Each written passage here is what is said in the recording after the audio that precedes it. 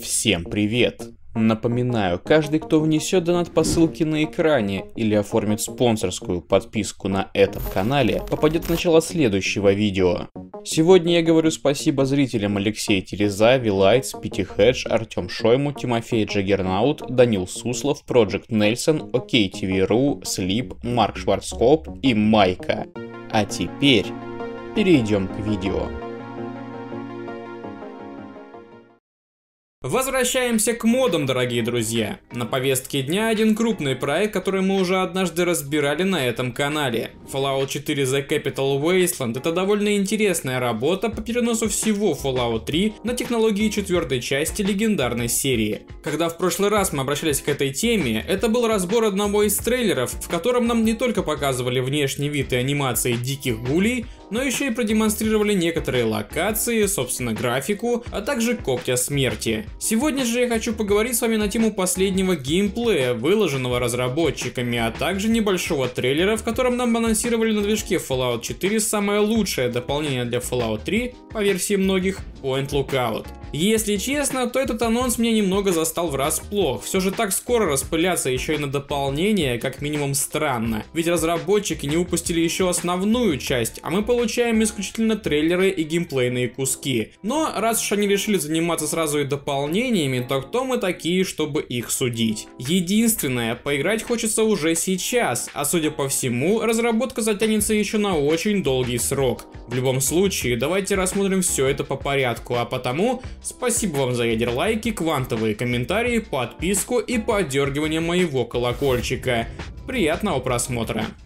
Итак, для начала давайте рассмотрим видео, которое называется You Gotta Shoot Him in the Head Gameplay Trailer. Из названия сразу становится понятно, что речь пойдет о прохождении квеста «Контрольный выстрел», разбор которого вы легко сможете найти на канале. Собственно, так даже сравнить будет легче, хотя тот ролик и был снят довольно давно и качество у него хромает. Для начала мы можем видеть, как главная героиня прибегает к историческому музею, где, как мы помним, тусят разумные гули. Интерьер помещения выстроен выстроен ровно так же, как он был и в Fallout 3, и зачастую кажется, что чуваки просто импортировали все из оригинала, практически никак не доработав. Но если присмотреться, то где-то лучше текстурка, где-то иначе валяются вещи, поэтому все же это полная переделка. Главная героиня начинает общаться с мистером Краули, и тут мы можем видеть не только прикольно сделанных гулей, которые выглядят канонично стрёмно, прямо как в тройке, а не те слащавые уродцы из четверки, но еще и диалоговую систему, которая повторяет таковую из третьей части.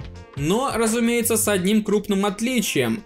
Игра теперь не замирает, а персонажи продолжают делать свои дела. И потому в такие моменты может произойти самые разные события. Помните то видео из Fallout 4, где во время диалога к игроку подбежал супермутант с бомбой? Вот и мне теперь интересно будет посмотреть, как такой интерактив повлияет на мир столичной пустоши.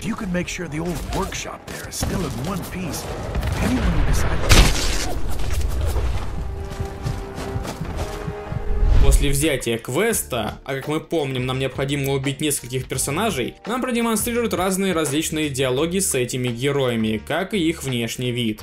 Дуков, например, смотрится довольно неплохо в обновленной графике, хотя я и представлял его раньше как человека слегка помоложе. В разговоре с ним нам продемонстрируют возможность перка Черная Вдова, с которым Дукова можно не убивать, а забрать ключик просто так. В следующей сцене нам покажут интерьер Ревит Сити, который стал действительно очень неплохо выглядеть. Ну и кроме того, нам продемонстрируют перк Песочный Человек, при помощи которого Тед просто умрет даже не проснувшись, а ключ окажется у нашей злобной героини, которая, кстати, в выглядит довольно, ну ничего так. Республика Дэйва тоже выглядит ровно как в прошлый раз, но сильно похорошевшей графикой. И тут на самом деле у меня встает вопрос, может быть не стоило разработчикам прямо так в лоб переносить все из оригинала? Вспомните ту же Black Mesa, в которой все же новые разрабы придумали кучу нового для уже знакомой нам игры. А здесь мы видим ровно то же самое, никакого креатива. Ну, хотя быть может тогда этот мод разрабатывали бы еще лет 50. В Республике Дэйва нам покажут еще раз боевую систему с пистолетом и глушителем. Смотрится все красивенько и приятно, надеюсь не подкачают и с оптимизацией. Ну а затем мы отправляемся в Tenpenny Tower, мое любимое место в игре. Жаль конечно, что квеста с гулями продемонстрировано не будет, однако мы можем посмотреть на внутренние помещения, узнать, что лифт здесь работает ровно как в четвертом четверки, то есть без лишних загрузок. Кстати, хочу обратить ваше внимание, что в диалоговой системе нам указывается иконками возможность прокнуть красноречие. Алистер Тенпенни, как все мы знаем, может предложить неплохие деньги за то, чтобы мы убили мистера Краули, а не его. Но игравший разработчик решил забить, и Алистер потерял голову, а Краули получил все нужные ему ключи. Кстати, хочу здесь заметить один факт. Мод Capital Wasteland в один не очень приятный момент довольно на большой срок заморозили, ведь у Bethesda не было прав на озвучку актеров, и тогда юристы компании сообщили мододелам, что впереди могут появиться проблемы из-за голосов актеров. Но создатели собрали всю волю в кулак и решились на переозвучку всех героев самостоятельно. Как я понял, в этом ролике мы уже можем наблюдать новую озвучку, и она на самом деле очень даже неплохая. В общем-то, на этом и заканчивается демонстрация прохождения этого квеста в модифицированном для четверки виде. Если честно, то выглядит вполне неплохо, пускай никакого вау-эффекта не случилось. Как его не может случиться и от трейлера Capital Wasteland Point Lookout. В анонсирующем трейлере нам показали локации, врагов и, пожалуй, за исключением фреймрейта, все здесь выглядит максимально знакомо. Надеюсь, что оптимизация не подкачает и здесь, и заставка во время прибытия в Point Lookout будет смотреться гладко и приятно, а не как в оригинале даже на ПК. Само по себе дополнение нам по сути не показано. Как говорится в описании, над поинтом работают всего трое человек, и это считается сайт-проектом, который сейчас на стадии очень-очень ранней альфы. Поэтому, быть может, мой страх, что из-за этого весь Capital Wasteland будет разрабатываться дольше, абсолютно ни на чем не основан. Но с другой стороны, я все же не понимаю, зачем распылять свои силы сразу на несколько подобных модов. Point Lookout, разумеется, не так много контента, чтобы затягивать с его переработкой на движке четверки. Однако я был бы рад, чтобы создатели сначала просто выпустили оригинал.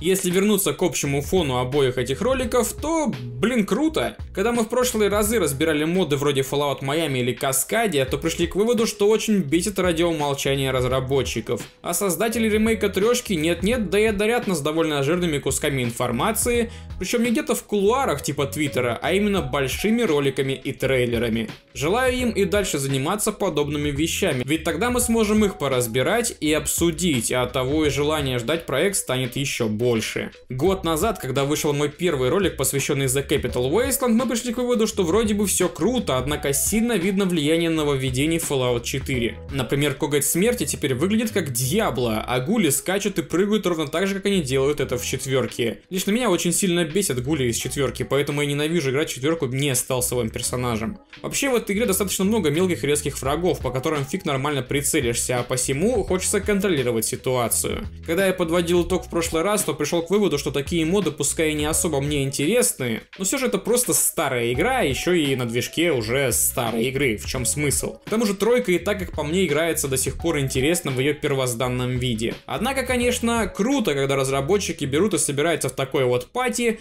делают какие-то крутые вещи, до которых от чего-то сами правообладатели никогда не могут добраться. К тому же могут случаться зачастую какие-нибудь внезапные позитивные штуки, как, например, выход Black Mesa. Да, да, я опять о ней. Но, ребята, это действительно шедевр.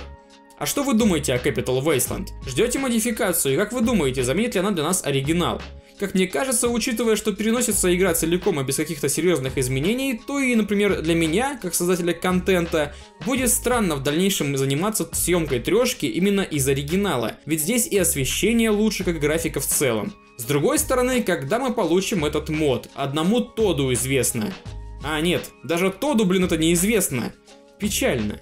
Capital Wasteland это большой проект с очень крупными амбициями и отчасти очень круто, что внешне он похож все же больше на тройку, чем на четверку. Хотя графика и откуда ноги растут видно невооруженным глазом. Но в любом случае, по тем данным, что у нас есть сейчас, это потрясающий проект, который очень хочется ждать и верить, что получится абсолютно прекрасное произведение. А на сегодня, пожалуй, все. Если вам понравилось видео и вы хотите, чтобы на канале появлялось больше роликов, посвященных модификациям, то обязательно поставьте ядер лайк и напишите в поддержку какой-нибудь комментарий. Ну и конечно же самое ценное от вас будет подписка, подергивание колокольчика и прочие штуки, которые можно сделать, чтобы меня поддержать. Играйте в хорошие игры, ну и моды разумеется.